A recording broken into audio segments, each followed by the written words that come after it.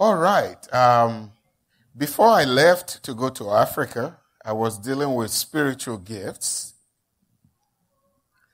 And uh, I want to do at least one or two, thank you, one or two messages to uh, uh, bring it to a conclusion, to a close. Now, that doesn't mean we're not going to keep uh, dealing with uh, spiritual gifts because it's uh, so important. Uh, we're going to continue to uh, deal with this. Um,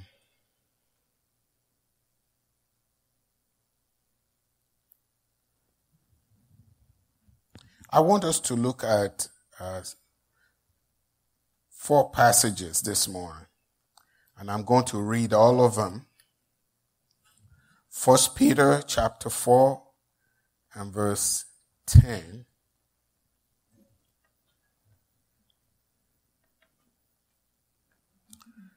Ephesians chapter 4 verses 11 and 12. First Corinthians chapter 12 verse 7. And Romans chapter 12, verses 6, 7, and 8.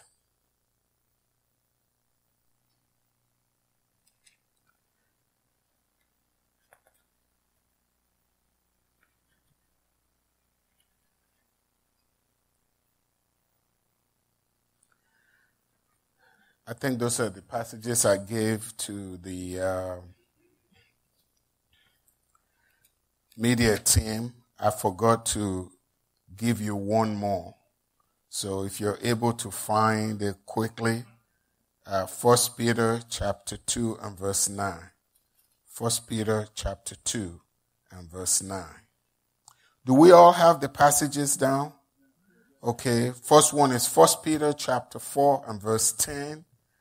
Second one is Ephesians chapter 4 verses 11 and 12.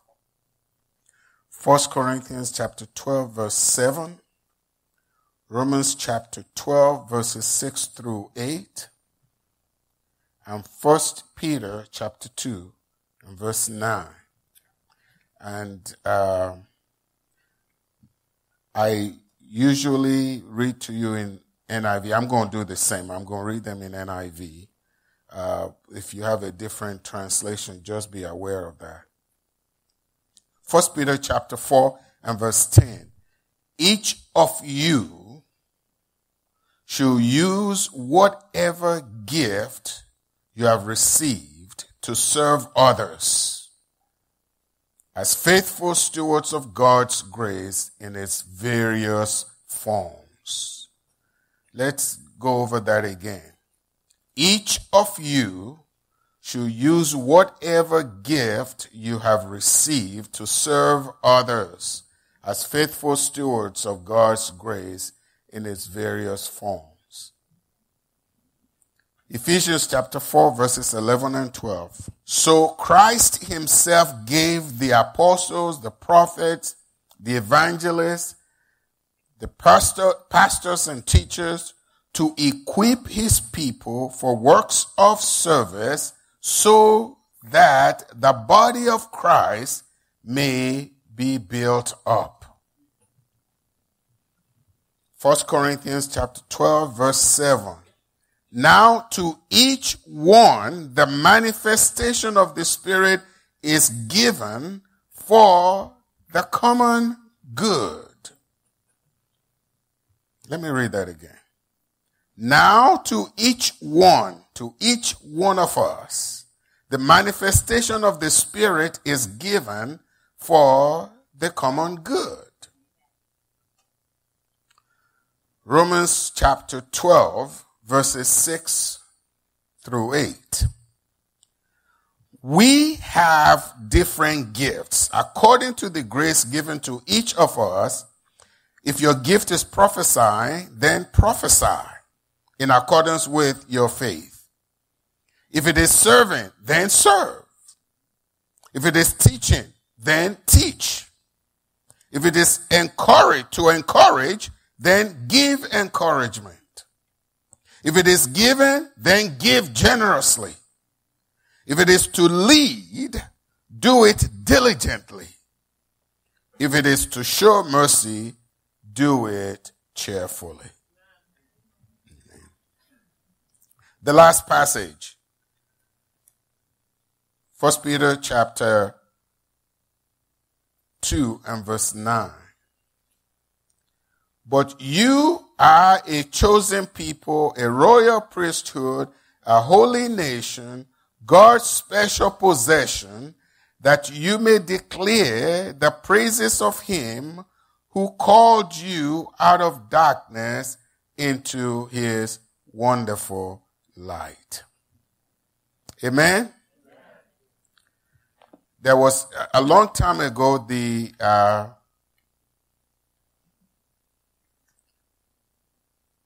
commercial that was uh, put together by the I was going to say NCAA, but it wasn't NCAA. Uh, the anyway, let me go on with the uh, saying. The saying is, a mind is a terrible thing to waste. Amen. The initials just went out of my head.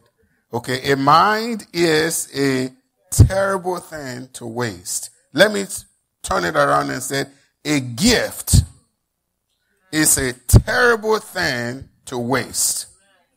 The gift of God is a terrible thing to waste. The spiritual gifts, a terrible thing to waste.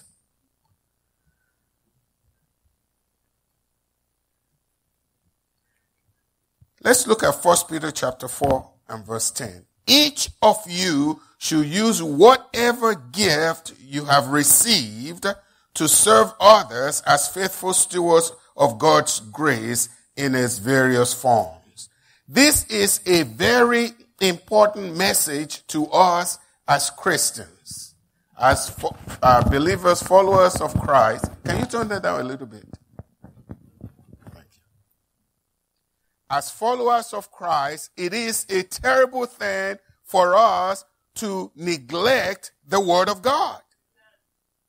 Our roadmap, our GPS, our guidance is the Word of God. And the Word of God is put into us by the Spirit of God, and we are empowered by the Son of God. We should always recognize that the Word of God is not written so that we can just read it. It's written so that we can read and we can understand and we can do what? Obey. Follow it. Do it. Look, First Peter chapter 4 verse 10. Each one of you should do what? That's the word. Use. If you don't use it, you lose it.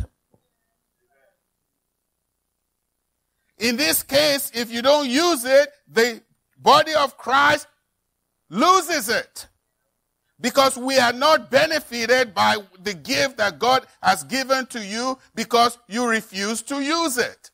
And it's very clear in here that it says, each one of you. Nobody is exempt.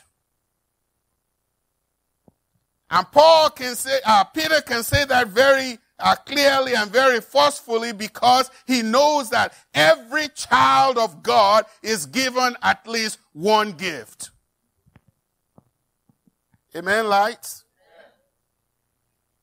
Every child of God is given at least one gift. Okay, you, are, you, you, you guys gonna get mad at me today. Okay?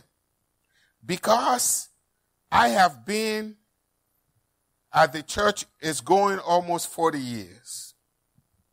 And I have seen some people in those 40 years never use a gift. And I know we preach this, we teach it, we keep talking about it, but it's never put into practice. Said each one of you if you are in Christ, if you have believed in Christ, if you have accepted Him as your Lord and Savior, there is definitely one thing that He gave you is the gift to benefit the body of Christ. Use it. Nike said, just do it. Whatever gift God has given to you, use it. There's absolutely no gift that God has given to you that is not needed in the body of Christ, that is not needed in the community, that is not needed in the war. So stop sitting down on your gifts. Somebody said, He's back.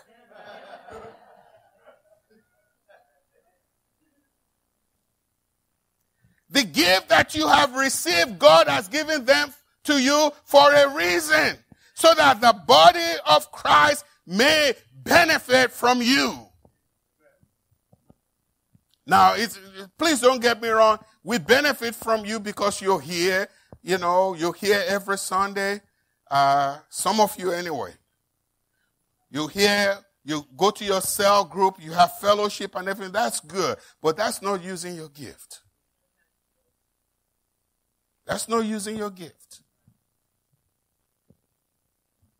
I cannot define for you whether you are born again or not because that is left to the Holy Spirit of God. But I do know that if you have been born again by the Spirit of God, God has given you a gift, and God said, whatever that gift is, it is to be used. And it is to be used to serve others as faithful stewards of God's grace in its various forms. And all the passages that I have read today, it goes on and it emphasizes it over and over and over and over again. Now, when I started this message, I gave some gifts out to some people. If I give you a gift, can you stand? If I give you a gift,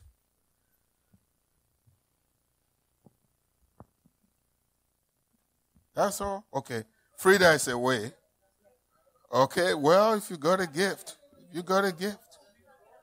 Yes, you got a gift too. You too got a gift.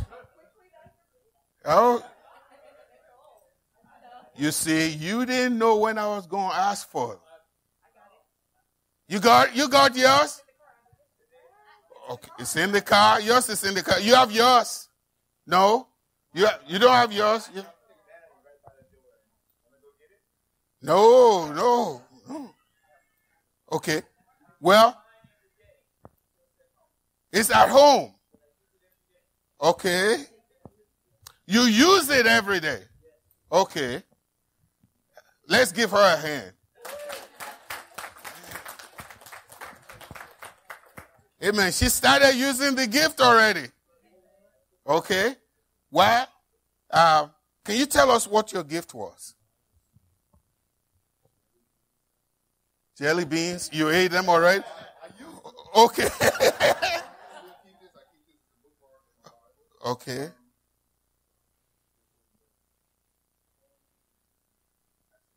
Money.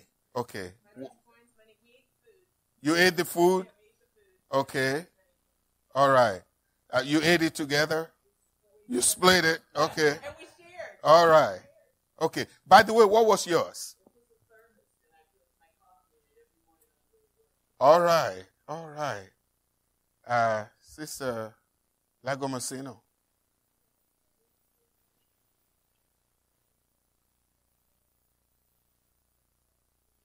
Okay. Okay. Well, don't don't don't do that. Just come back. Enjoy the message. come back. Gail. Okay. All right. And what did you get? Hand sanitizer and have you used any? No. You just kept it in the box. Oh. Okay. Okay. All right. Okay. Deacon Roy, what did you get?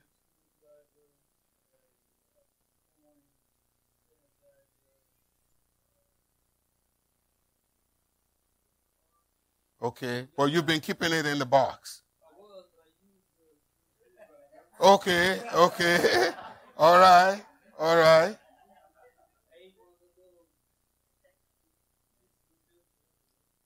Okay.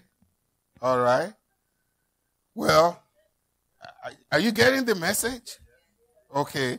Um, sometimes we get, you, you may be seated. Sometimes we get gifts and uh, we put them away. How many of you have ever, you got up on Christmas Day and you look at the gift under the tree or wherever you put them and you say, man, what's a nice box. For four months, you keep, keep coming back, nice box. It's wrapped very well. I know there's something in it. I know there's something good in it. A lot of times, that's how we use our gifts in the church. What happened today is not a surprise. I intentionally left you alone and wait and wait and wait and wait until I ask you for the gifts. You see how ready we are? Always ready to serve the Lord, right? Adam, where thou? Come up here.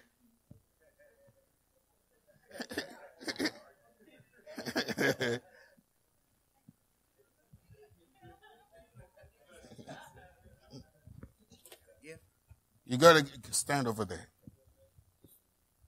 Tamara. Oh, sorry. This is yours I give you somebody else. Tamara, please come on.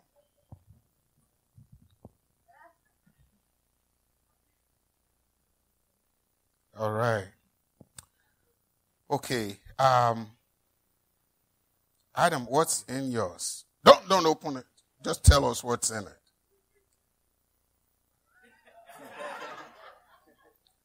Huh? Change. You think it's change? Okay. That's all. You sure? Why are you sure?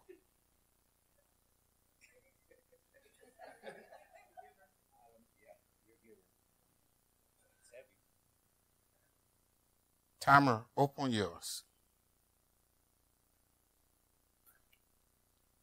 Tell us what's in there.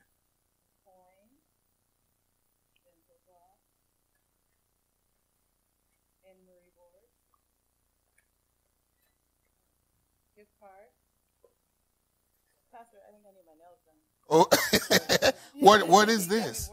What is that? Um, uh, I think to clean your glasses, right? Okay, you know what it's for. Yeah. Okay, do you know what that is for? To file your note. No, this one oh, here. It's an Apple iTunes gift card. So. What do you use it for? To download things on Okay, on your phone and all that, and or your computer. What do you use this one for? To file my nails. To file your nails. Yeah, you got two of them. okay. Do you, what is this one here?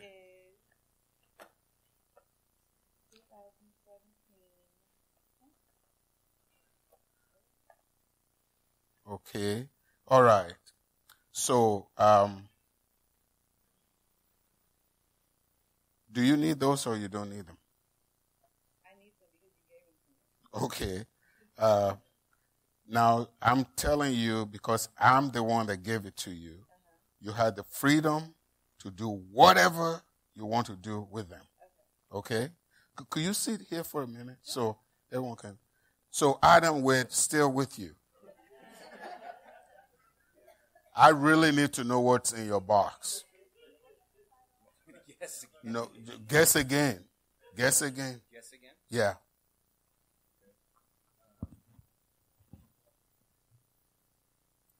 Now let's be, let's come back to Adam. Okay, we're gonna come back to. Adam. Is everybody with me? What happened with Tamar? She opened it. Right? What did she do when she opened it? She checked it. She inspected it. She even noticed that I gave her two. Are they of the same kind? No, they're not of the same kind. They're different. Okay? So that's one of the things we need to do. And by the way, uh, that thing, you need to keep it with that so you don't lose oh, it. Yeah. Okay. And uh, excuse me. Sorry, I'm, I'm not taking it back.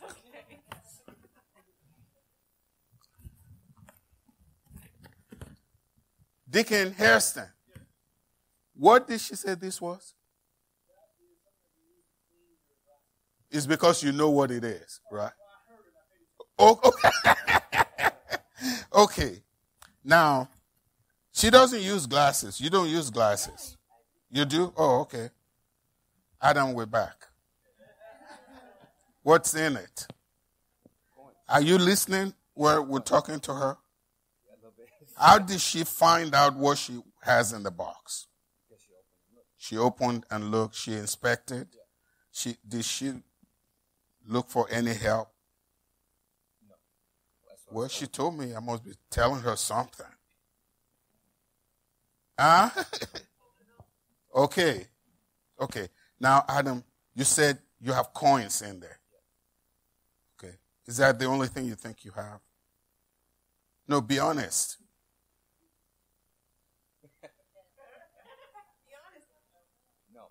No. You think it's more than that. Why do you think it's more than that?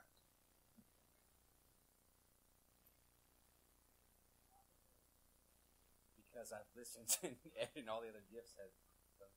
They have more stuff in them. Yeah. Okay.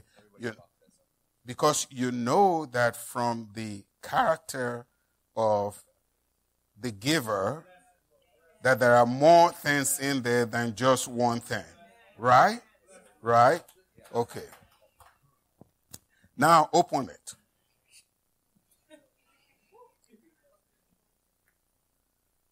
Look what's in there. What is that one there? Oh, okay.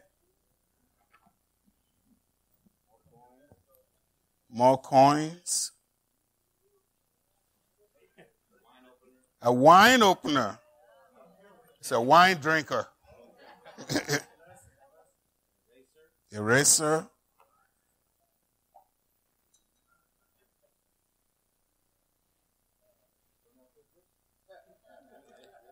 Okay. All right. All right. Okay. All right. So, Adam, is there anything in there that you don't know what to do with it? No? You understand exactly what you need to do with them. Right? Okay. All right. Both of you can go back to your seats. Thank you.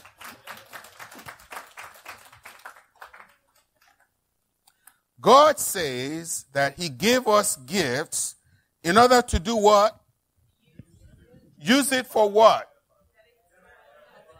Edify, build up the body of Christ, Okay? So that the body of Christ may grow. Right? Now, let me make some points and then I'll do one illustration, then I'll shut up.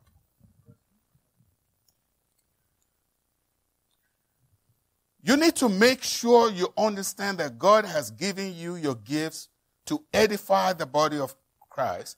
This is particularly true of the local church.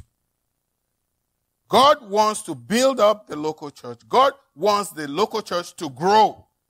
When we talk about growing, we're talking about growing spiritually. We're talking about growing numerically. We're talking about growing in our knowledge of the Lord and Savior Jesus Christ. So that not only the church will benefit, but our community will benefit and the world will benefit. Okay. Please listen very carefully. Because I think many times we have misunderstood the message of God to the church.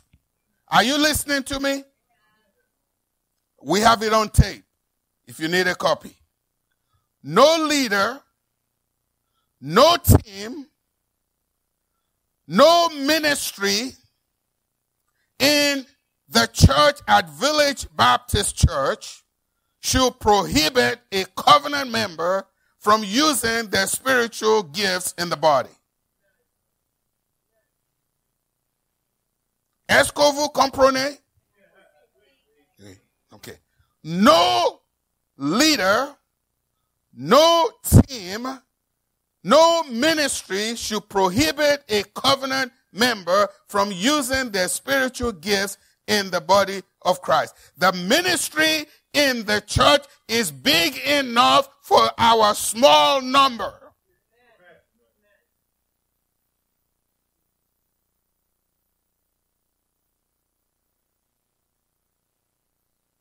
God knows what He's doing. Don't try to be God for us. Don't try to be the Holy Spirit for us.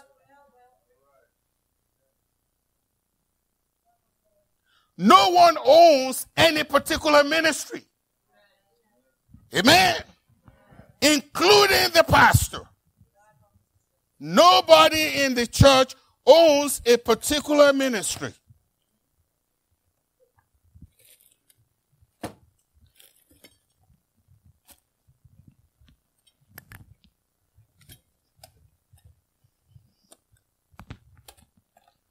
They're getting bigger now.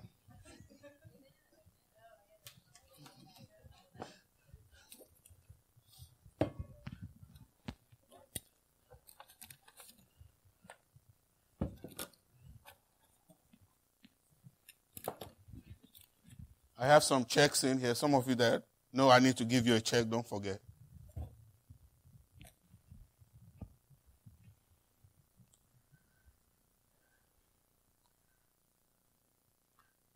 Ministry is open to that is part of the body of Christ. Ministry, true ministry in the church is open to anyone who is part of the body of Christ. Now, that, that is a very significant statement, and I want to make sure you don't misunderstand what I'm saying. If you're part of the body of Christ, you're part of the local church, you're part of the universal church. So therefore, your ministry is in the local church, in the universal church, in the community, and around the world.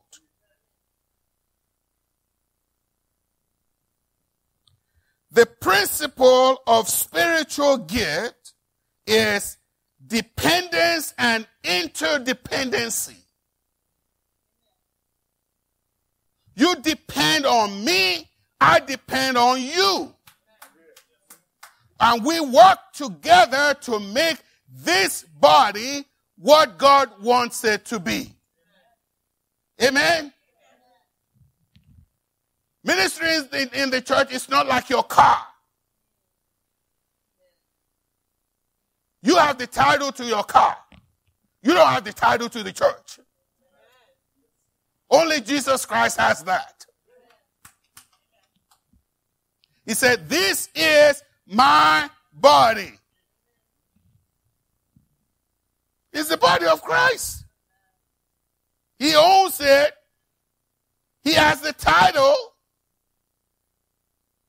He has the stained blood to show it that he has the title. He signed it with his blood. Stop trying to own the church. Stop trying to own your team. Stop trying to own the ministry. It does not belong to you. You don't have title to it. How much time do I have?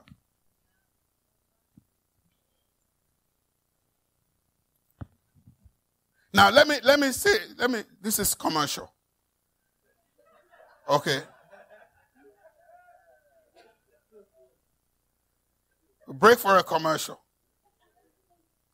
If you believe God is leading you to start a ministry in the church, you need to talk to the pastor. The pastor will lead you to the appropriate team leader that fits whatever ministry you want to start. In most cases, if it is a ministry, it's probably going to be under Jonathan Matthews.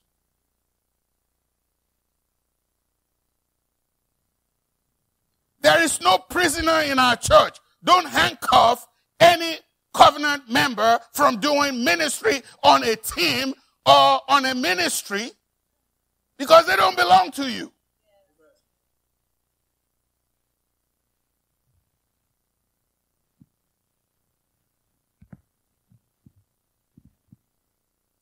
Not only do we have to minister in our body at Village Baptist Church, we have to minister in Petaluma. We have to minister in Novato. We have to minister in Santa Rosa. We have to minister in Aklankpa, Africa. We have to minister in Lagos, Nigeria. There is so much to do. Stop trying to handcuff people. Now, I know that you may have been an usher all your life. If you've been an usher all your life, that was a problem anyway, because you shouldn't have been.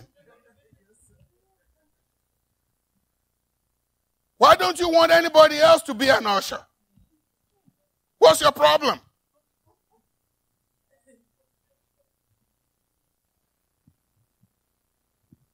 Oh, only the four of us.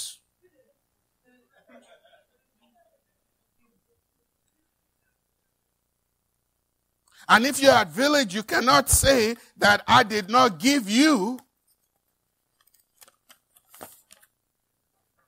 how to use your gifts at Village Baptist Church. Can you put that up?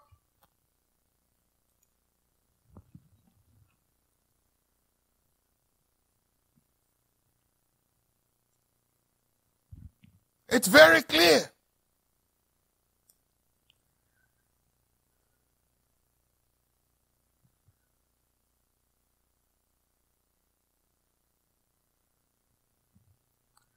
These are the teams we have in our church. We have the maturity team, we have the mission team, we have the ministry team, we have the membership team, we have the management team, we have music and worship team, we have media and publicity. Did I miss one? Drama. Because it's not M, we left it out. Uh, Children's Church is part of the ministry of maturity team. Okay, so those are the teams. If you want to work on those teams, these are the things, the gifts that you need. Maturity team, you need teaching, gift, administration, leadership, government, wisdom, knowledge, prophecy, pastor, teacher, helps. We are not saying you must have all those gifts. Amen. If the only gift you have is mercy, you can't say to us that you're going to use that and the best place to use it is the maturity team. Are you following me?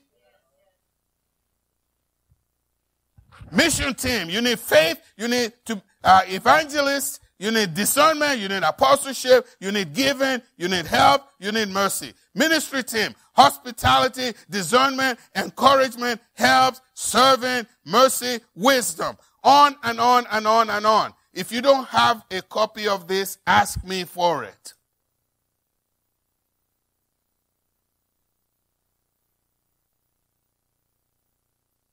To build up the body of Christ. Amen. I'm almost oh, done. So, if we're going to build up, which means the body of Christ should grow, right? And I, I think the Lord knows what He's doing when He used that illustration. In order to plant something, what do you need? You need dirt. This one is really rich. This one came from my compost pile. It's already done. Because eh, how many of you here know what compost is? Composting. Okay. Composting is the natural way to fertilize your garden. Okay? This one took me almost four months to make. What you're looking right here is looking like dirt, right? It had leaves when I started, that grass when I started, it had banana peels, orange. Uh, most of the things in our house you don't throw away. You don't throw anything away. At least don't let me see you throwing it away. Okay? They go in the compost pile. And you add all these things together. It's so amazing to see them turn into soil. I don't have to go and get Miracle-Gro. Because you know what I found out? Some of you will not shake my hands after. I found out that this, like a cup of this, a compost pile, has more microorganisms in it more than the people on the face of the earth. Right here. And instead of going and buying those chemicals that are going to kill you, do it God's way. Amen. Don't throw it away, use it. And so this is what we're going to use to grow our church. So I'm making more uh, mess here for Frida. She cleans the church.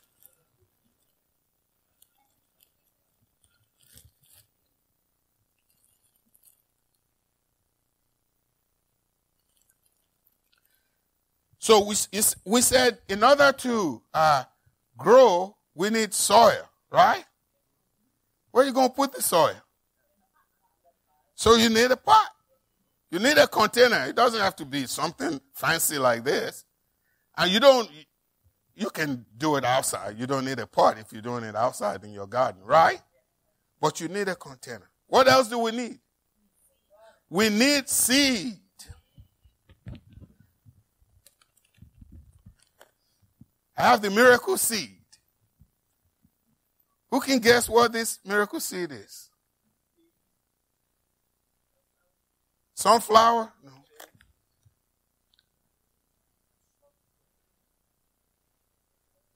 Come on, guys. Somebody got to know. Huh?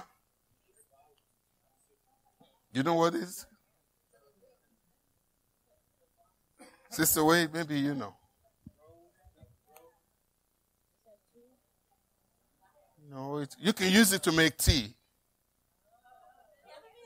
Somebody said something? No, not hibiscus.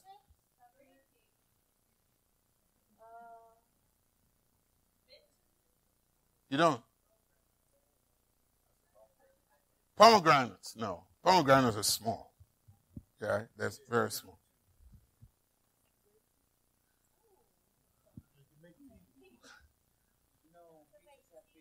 Oh man, I thought somebody was to get it. I'll be I'll be able to give you something. This is a moringa seed. Moringa. Moringa oleifera. You knew that. Okay.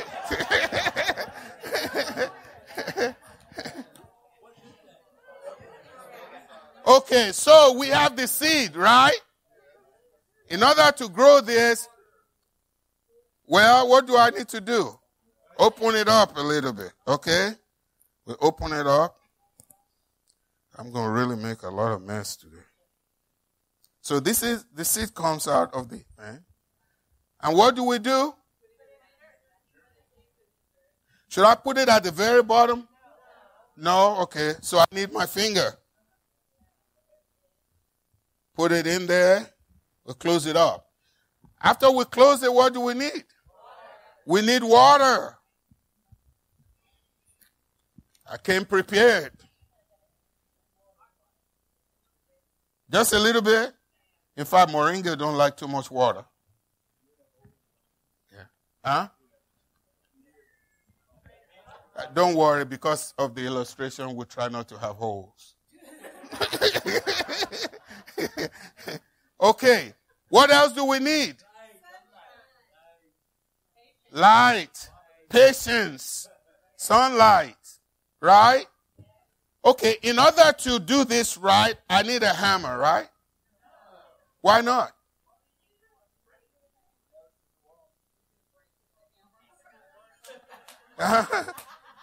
Come on now. Don't tell me I brought a hammer for nothing.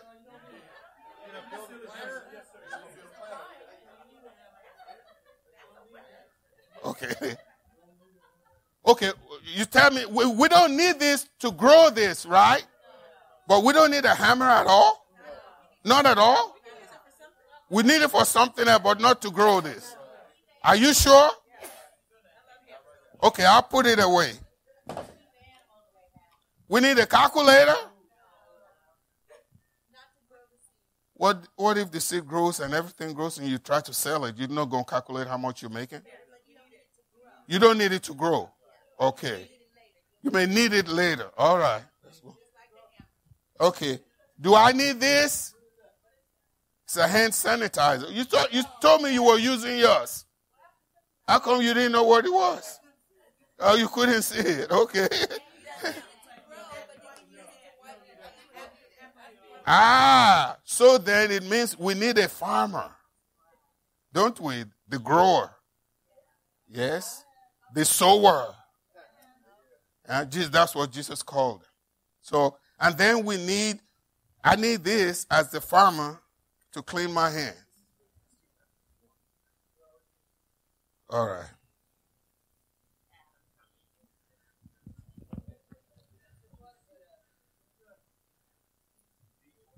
This is a natural rooting powder. Yeah? Yeah. But because we have good soil, we don't need this. Right? Come on now. You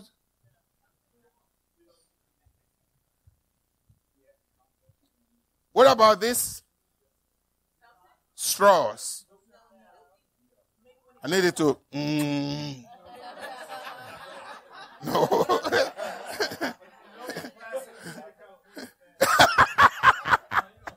we don't need it. We don't need it. I didn't know. I, I came prepared. I came prepared.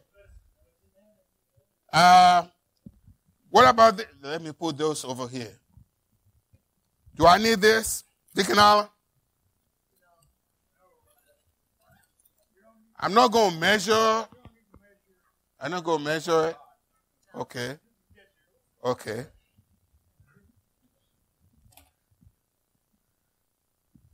Oh, I forgot. We need this for it to work. Batteries. Eveready. Duracell. You don't think it's going to help this? Okay. Let, let me let me tell you that God has given us gifts that are going to benefit his body. Don't try to manufacture your own gifts.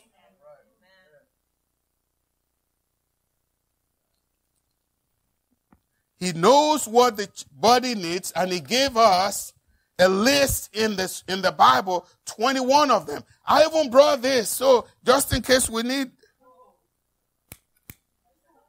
I'm ready. I don't need it.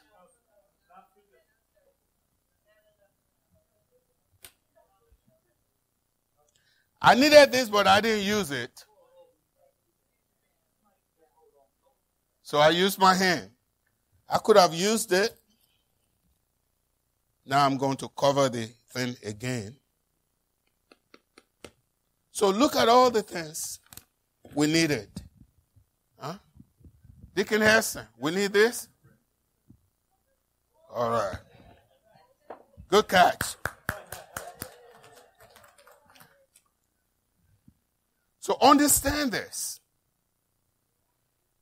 The soil, as important as it is, cannot say, Water, don't come here.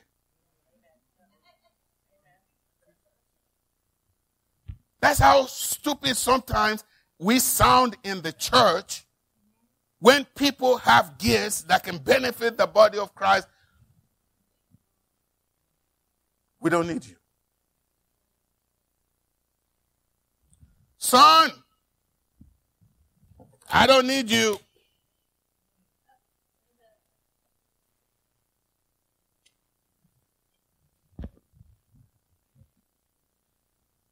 I'll do it myself. You cannot do it yourself. The pastor cannot do it himself. The deacons cannot do it themselves. The teachers cannot do it themselves. We need everybody in the body to make the body grow. Please, you need to get this. I'm not looking for a clap or shout or anything like that. I'm just looking for you to understand it. If you have a ministry and somebody has accepted Christ and they have committed themselves to your local body, you have no reason, no authority at all to tell them they cannot use their gifts. Now,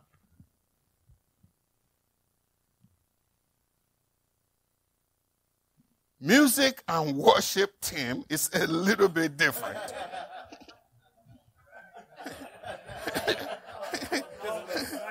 okay?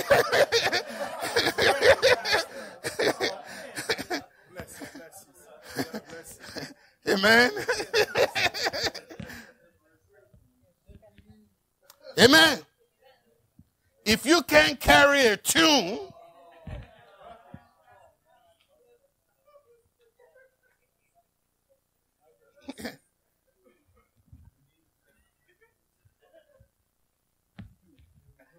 I want to be on the music and worship team. I want to be on the music and worship team. You, God didn't give you the talent.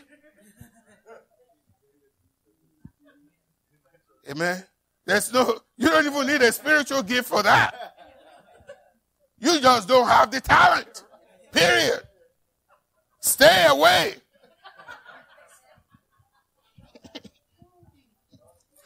we don't want people come to our church and don't come back again.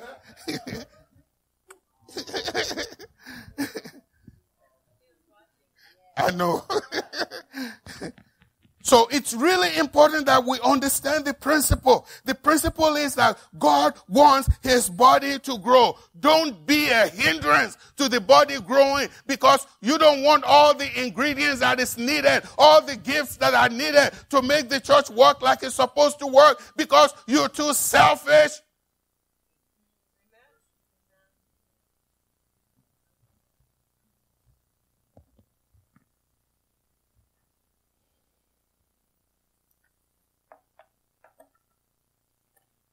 I'm getting ready to shut up, okay?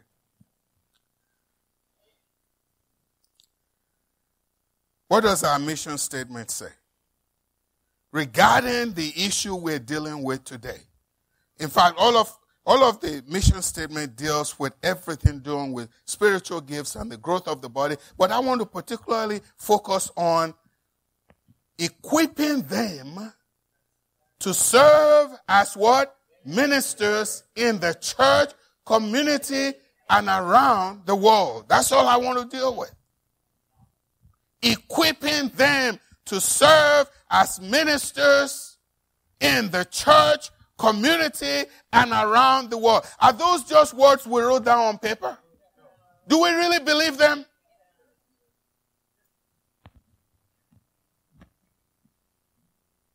Then we need to act like we do believe them.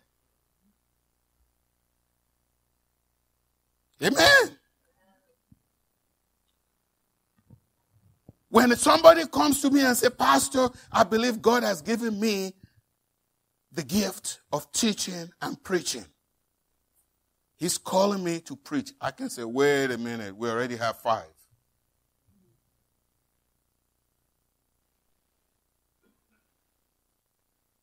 That's ridiculous.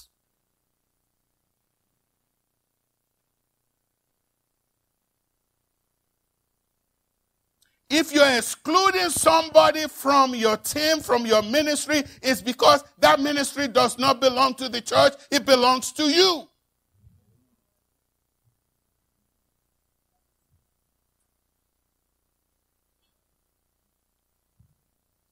The passages are very clear. The reason why God gave us gifts is that so that the body of Christ may be built up.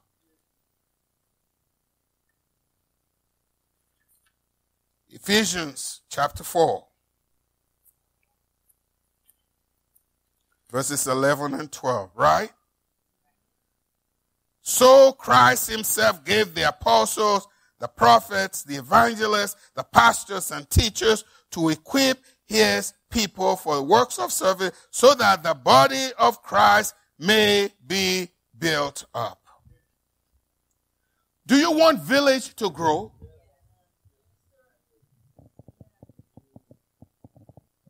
Then stop being selfish.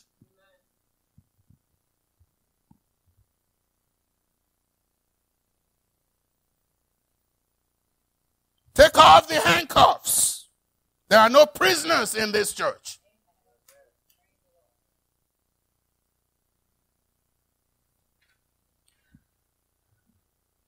The only way you can legitimately say to a person, because you know, we want accountability and responsibility. That's why we talk about covenant membership. We don't want the Lone Ranger. That's the wrong name anyway because the Lone Ranger did not go alone. He would have never been successful.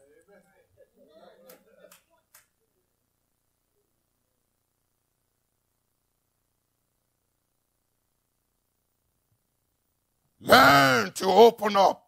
Learn to accept people. Learn to help people grow so that they can become who you are, what you are. If you're better in the ministry than they are, let them give them time. Amen. Garoppolo did not stop playing because Tom Brady was there. But he learned, carried the clipboard. And then the 49ers got him. And he won for them five games in a row. Somebody say, Oh Lord, don't talk about the 49ers. I'm, I'm going to stop the illustration right there.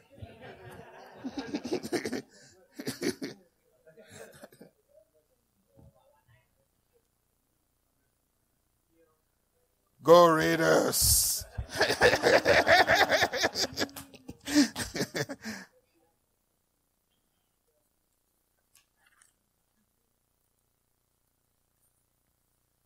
this is what God wants in His church. God does not want selfish people in the ministry. He doesn't want them as pastors. He doesn't want them as deacons. He doesn't want them as team leaders. Because if you are, the church will never be what it's supposed to be. Open it up, handcuff, take off the handcuffs. Let people minister. If even if people are not sure what their gifts are, let them try it on their on your team. You can tell if it's not. Amen. And if it's not, you ought to be willing to accept that it's not.